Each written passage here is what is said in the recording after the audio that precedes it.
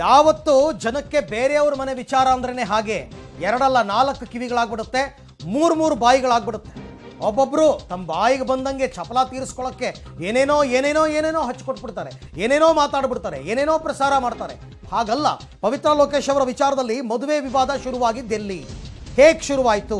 ಮದುವೆ ವಿಚಾರ, ಅದು ನಿಜಾನಾ? ಗಾಳಿ ಸುದ್ದಿನ? ಸತ್ಯಾಂಶ ಏನು? ಅವರೇನು ಪವಿತ್ರ ಲೋಕೇಶ್ ಅವರು ಮದುವೆ ಆಗಿದ್ದಾರಾ?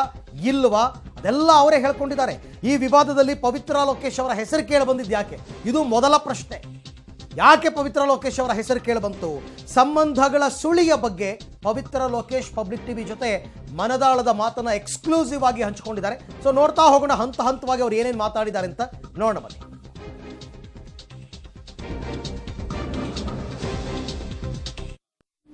ಒಂದಷ್ಟು ವಿಚಾರಗಳು ಪವಿತ್ರ ಲೋಕೇಶ್ ಅವರ ಪರ್ಸನಲ್ ಲೈಫ್ ಬಗ್ಗೆ ಕಳೆದ ಕೆಲವು ದಿನಗಳಿಂದ ಬಹಳಷ್ಟು ಚರ್ಚೆಗಳು ನಡೀತಿದ್ದಾವೆ. ತಾವು ಅದ್ರ ಬಗ್ಗೆ ಎಲ್ಲೂ ಮಾತಾಡಿಲ್ಲ.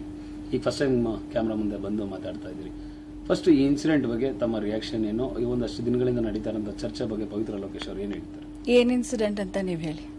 ಮೇಡಮ್ ನೀವು ಇನ್ನೊಬ್ಬರನ್ನ ಮದುವೆ ಆಗಿದ್ದೀರಿ ಅಥವಾ ನ- ಇಲ್ಲಿ ನನಗೆ ಹಿಂಗೆ ಹೇಳಿ ನಿಮ್ಗೆ? ನಿಮ್ಮ ಮುಂದೆ ನಂಗೆ ನೇರವಾಗಿ ಕೇಳಕ್ಕೆ ಅಫ್ಕೋರ್ಸ್ ನೀವು ಕೇಳಿ ಏನ್ ವಾಟ್ ಇಸ್ ಇಟ್ ಅಂತ ನಂಗೆ ಹೇಳಿ.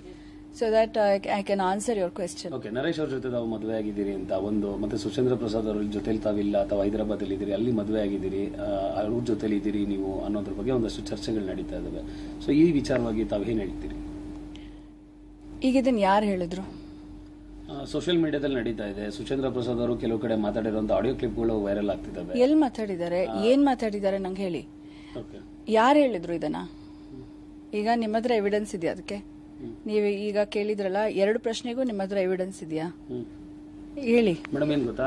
ಸುಚೇಂದ್ರ ಪ್ರಸಾದ್ ಅವರು ಅಂದ್ರೆ ಕೆಲವು ಕಡೆ ಫೋನ್ ಅಲ್ಲಿ ಮಾತಾಡಿದ್ದಾರೆ. ನನ್ನ ಫೋನ್ ಅಲ್ಲಿ ಮಾತಾಡಿದ್ದಾರೆ ಅವರು. ಏನಂತ ಮಾತಾಡಿದ್ದಾರೆ ನನ್ನ ಹತ್ರ ಹೇಳಿರುವಂತ ವಿಷಯ ಏನಂತಂದ್ರೆ ನಾವು ಅವರು ಪರಸ್ಪರ ಮಾತುಕತೆಯಲ್ಲಿ ಇದೀವಿ ಅವ್ರು ನಮ್ಮ ಜೊತೆಲಿ ಇದ್ದಾರೆ ಅವ್ರು ಏನು ಏನೂ ಇಲ್ಲ ಇದೆಲ್ಲ ರೂಮರ್ಸ್ ಅಂತ ಒಂದು ಸ್ಪಷ್ಟನೆ ಕೊಡ್ತಾ ಇದ್ದಾರೆ.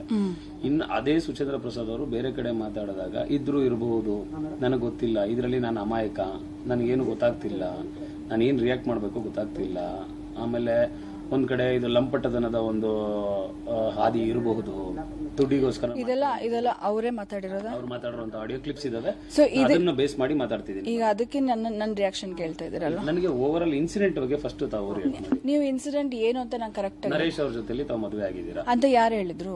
ಆತರ ಒಂದು ಈಚೆ ಓಡಾಡ್ತಿದೆ ಮೇಡಮ್ ಸೋಷಿಯಲ್ ಮೀಡಿಯಾದಲ್ಲಿ ನಡೀತಿದೆ. ಆಡಿಯೋ ಕ್ಲಿಪ್ಸ್ ಅಲ್ಲಿ ಒಂದಷ್ಟು ಮಾತುಕತೆ. ಸುಚೇಂದ್ರ ಪ್ರಸಾದ್ ಅವರು ಬೇರೆ ಬೇರೆ ಕಡೆ ಮಾತಾಡೋದು ಈಗ ಸುಚೇಂದ್ರ ಪ್ರಸಾದ್ ಅವ್ರ ಜೊತೆ ನಾನಿಲ್ಲ.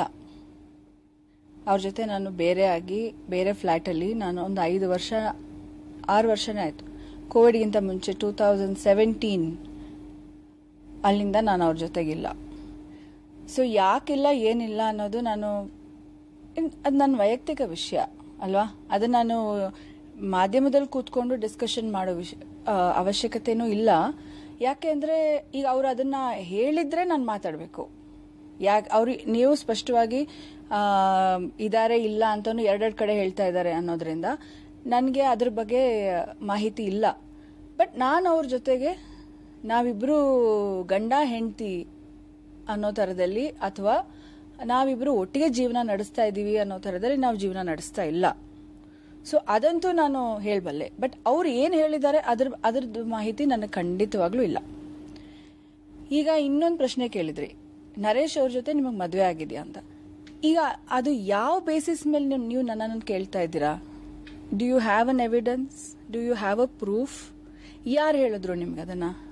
ಅದನ್ನ ಹೇಳಿ. ಈಗ ನ ಸೋಷಿಯಲ್ ಮೀಡಿಯಾದಲ್ಲಿ ಓಡಾಡ್ತಾ ಇದೆ ಇದು. ಅದು ನನಗೂ ಗೊತ್ತು. ನನಗೆ ಗೊತ್ತಿಲ್ಲದೆ ಅದನ್ನು ಓಡಾಡಲ್ಲ, ಅಲ್ವಾ? ನಾನು ನೋಡ್ತೀನಿ, ನೀವು ನೋಡ್ತೀರಾ, ಇನ್ನೊಬ್ರು ನೋಡ್ತಾರೆ, ಎಲ್ಲರಿಗೂ ಅದು available it is on social media so ಅದ್ರ ಬಗ್ಗೆ ನಾನು ಕ್ರೈಮ್ ಪೊಲೀಸ್ ಅವ್ರ ಹತ್ರ ಹೋಗಿ ನಾನು ಕಂಪ್ಲೇಂಟ್ ಕೊಟ್ಟಿದ್ದೀನಿ. ನನ್ನ ಬಗ್ಗೆ ಈ ಥರ ನನ್ನ ನನ್ನನ್ನ, ನನ್ನ ಮಾನ ಮರ್ಯಾದೆಗೆ ದಕ್ಕು ಬರೋ ಥರ ಈ ಬರೀತಾ ಇದ್ದಾರೆ ಸೋಷಿಯಲ್ ಮೀಡಿಯಾದಲ್ಲಿ ಬಂದಿದೆ. ಅದನ್ನು ನೀವು ಪರಿಗಣಿಸಿ ನನಗೆ ನ್ಯಾಯ ಒದಗಿಸ್ಬೇಕು ಅಂತ ನಾನು ಸೈಬರ್ ಮೈಸೂರಲ್ಲಿ ಹೋಗಿ ಕಂಪ್ಲೇಂಟ್ ಕೊಟ್ಟಿದ್ದೀನಿ. I think that you you know it so ಇನ್ನೇನು ಮಾಡೋಕ್ಕೆ ಸಾಧ್ಯ ನಾನು? ಅಲ್ವಾ?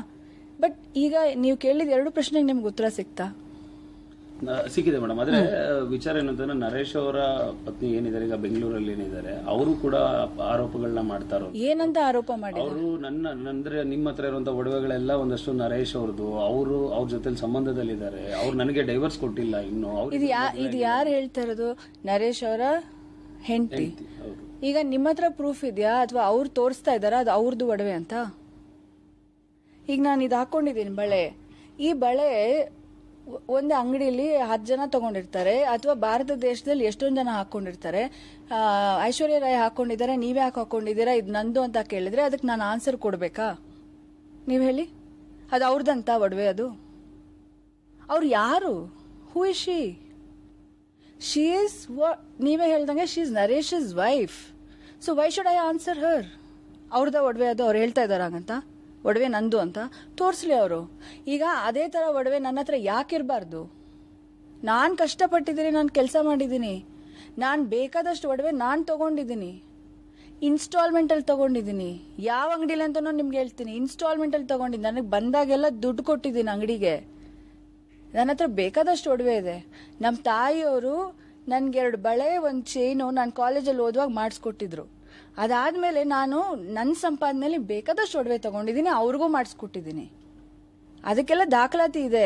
ಸುಮ್ಮನೆ ಯಾರೋ ಒಬ್ರು ಕೂತ್ಕೊಂಡು ಬೇನಾಮಿ ಪರ್ಸನ್ ಒಬ್ರು ಮಾತಾಡ್ತಾ ಇದ್ರೆ ಅದನ್ನ ನೀವು ಬಂದು ನನ್ನ ಕೇಳಿದ್ರೆ how how true it can be ಅವರು ನಿಮ್ಮ ಬಗ್ಗೆ ನಿಮ್ಮ ಹೆಸರು ತಗೊಂಡು ಮಾತಾಡಿದಕ್ಕೆ ಕರೆಕ್ಟ್ ಸರ್ ನೀವು ನಾನು ಹೇಳೋದು ಅವ್ರು ನನ್ನ ಹೆಸರು ತಗೊಂಡು ಮಾತಾಡ್ತಾ ಇದ್ದಾರೆ ಬಟ್ ನಿಮ್ಮ ಮಾಧ್ಯಮದವ್ರಿಗೆ ಒಂದು ಒಂದು ಇದಿರುತ್ತಲ್ವಾ ಸರ್ ನಿಮ್ಮ ಜರ್ನಲಿಸಮ್ಗೆ ನಿಮ್ದೇ ಆದಂತ ಒಂದು ರೂಲ್ಸ್ ಅಂಡ್ ರೆಗ್ಯುಲೇಷನ್ಸ್ ಇರುತ್ತೆ. ಎಷ್ಟು ಮಾತಾಡಬೇಕು, ಏನ್ ಮಾತಾಡಬೇಕು. ಈಗ ನೀವು ಇಷ್ಟೊಂದು ಮರ್ಯಾದೆಯಾಗಿ ನನ್ನನ್ನು ಕೂರಿಸಿ ಇಲ್ಲಿ ಮೈಕ್ ಇಟ್ಟು ನೀವು ಇಲ್ಲಿ ಬಂದಿದ್ದೀರಾ ಅಂತ ಮಾತಾಡಿಸ್ತಿದ್ದೀರಾ. ನನ್ನ ಮನೆ ಒಳಗಡೆ ಒಬ್ರು ಬಂದು ಕ್ಯಾಮ್ರಾ ಇದೆ ಅಂತ ಗೊತ್ತಿಲ್ಲ ನನ್ನ ಹತ್ರ ಮಾತಾಡಿದ್ದಾರೆ ಇದು ಸರಿನಾ ಸರ್? ಯಾರವರು? ಯಾಕೆ ಮಾತಾಡಿದ್ರು? What is the intention? Please tell me, how how can that happen? ಒಂದು ಹೆಂಗ್ಸ್ ಮನೆ ಒಳಗಡೆ ಬರೋದು ಕರೆಕ್ಟಾ? ನೀವು ಹೇಳಿ. You are a man can you do that you are a journalist can you do that then how did it happen sir that means ನಾನು ಹೇಳ್ತಾ ಇದ್ದೀನಿ, ಆ ಈ ನರೇಶ್ ಅನ್ನ ಹೆಂಡತಿ ಅಂತ ಅನ್ಕೊಂಡು ಬಂದು ಮಾತಾಡ್ತಾ ಇದ್ದಾರಲ್ಲ, ಅವರು ಇದಕ್ಕೆ ಕಾರಣ ಅಂತ ನಾನು ಹೇಳ್ತಾ ಇದ್ದೀನಿ. ಹೌದಾ? ಹೌದಾ ಅಲ್ವಾ? ಅವ್ರ ಬೆನಿಫಿಟ್ಗೋಸ್ಕರ ನನ್ನ ಹೆಸರನ್ನ ಉಪಯೋಗಿಸ್ಕೋತಾ ಇದ್ದಾರೆ ಅಂತ ನಾನು ಹೇಳ್ತಾ ಇದ್ದೀನಿ. ಅವ್ರಿಗೆ ಇದರಿಂದ ಉಪಯೋಗ ಆಗ್ಬೋದು. ಇನ್ನೊಬ್ರಿಗೆ ನನ್ನ ಮನೆಗೆ ಬಂದಿದ್ರಲ್ಲ ಅವ್ರಿಗೂ ಇದಕ್ಕೆ ಉಪಯೋಗ ಆಗ್ಬೋದು ಅಂತ ನಾನು ಹೇಳ್ತಾ ಇದ್ದೀನಿ. ನನಗೆ ಯಾರು ಸರ್ ರಕ್ಷಣೆ ಕೊಡ್ತಾರೆ? ಯಾರು ಕೊಡ್ತಾರೆ? ನೀವು ಕೊಡ್ತೀರಾ? ಇನ್ನೊಬ್ರು ಕೊಡ್ತೀರಾ? ಇದನ್ನ who will answer this question you tell me ಈಗ ನನ್ನನ್ನ ಇದಕ್ಕೋಸ್ಕರ ಉಪಯೋಗಿಸ್ಕೋತಾ ಇದ್ದಾರೆ. ಏನಕ್ಕೋಸ್ಕರ ಅಂತ ನೀವು ಕೇಳಬೇಕು? ಯಾತಕ್ಕೋಸ್ಕರ ನಾನು ಪವಿತ್ರ ಲೊಕೇಶನ್ ಉಪಯೋಗಿಸ್ಕೋತಾ ಇದ್ದೀರಾ ಅಂತ ಕೇಳಬೇಕು. ಒಡವೆನಾ? ಸರ್ ನನ್ನ ಹತ್ರ ಒಡವೆ ಇಲ್ವಾ? ನಾನು ನರೇಶ್ ಅವರಷ್ಟು ಶ್ರೀಮಂತಳು ಅಲ್ಲದೆ ಇರಬಹುದು. ಆದ್ರೆ ನನ್ನ ನನ್ನ ಪೊಸಿಷನ್ಗೆ ನನಗೇನು ಬೇಕು? ನನಗೆ ಏನು ಚೆನ್ನಾಗಿ ಕಾಣಿಸುತ್ತೆ? ಅದನ್ನು ನಾನು ತೊಗೊಂಡು ಹಾಕೊಳ್ಳೋ ಅಷ್ಟು ಭಗವಂತ ನನಗೆ ಕೊಟ್ಟಿದ್ದಾನೆ. ಅಷ್ಟು ಕೆಲಸ ನಾನು ಮಾಡಿದ್ದೀನಿ.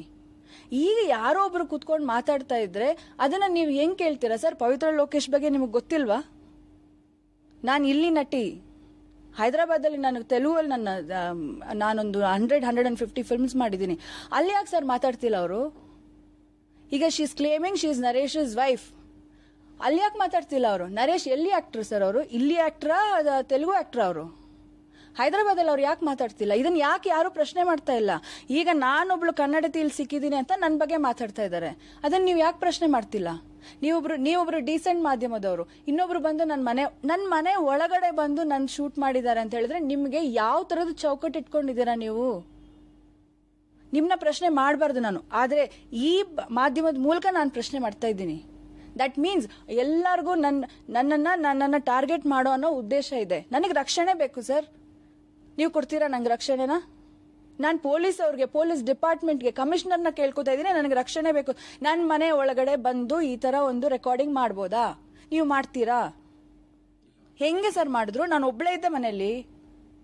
ಹೆಂಗೆ ಮಾಡಿದ್ರು? ಹಂಗಾದ್ರೆ ಈ ರಮ್ಯಾ ಅನ್ನೋ ಒಂದು ವ್ಯಕ್ತಿಗೆ ಏನು ಉದ್ದೇಶ ಇದೆ?